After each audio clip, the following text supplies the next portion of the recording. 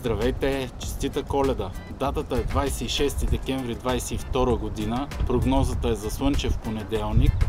Оставих колата на хижа Белчински рай и от тук тръгвам пеш към връх Свети Петър.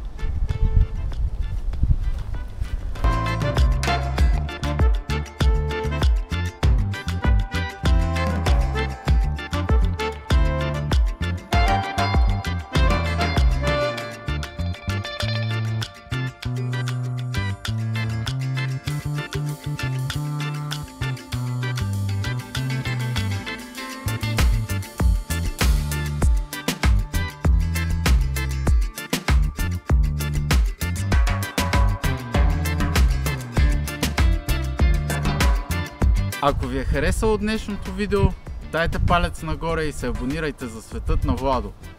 До нови срещи!